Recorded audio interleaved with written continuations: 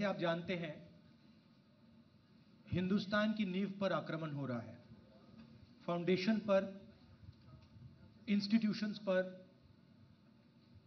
आवाज़ पर बीजेपी और आरएसएस आक्रमण कर रही है। मैंने मीटिंग में भी कहा यह विचारधारा की लड़ाई है और इसमें हम सब एक साथ खड़े हैं। हम में ज़रूर थोड़ी डिफरेंसेस होंगी। मगर हमने ये निर्णय लिया है कि हम एक साथ काम करेंगे फ्लेक्सिबिलिटी के साथ काम करेंगे, और जो हमारी विचारधारा है, जिसको हम शेयर करते हैं, उसकी हम रक्षा करेंगे। जैसे खारगे जी ने कहा, नीतीश जी ने कहा, कुछ ही समय में अगली मीटिंग होगी, और ये जो आज हमने बातचीत की उसको हम थोड़ा और गहराई में ले जाएँगे।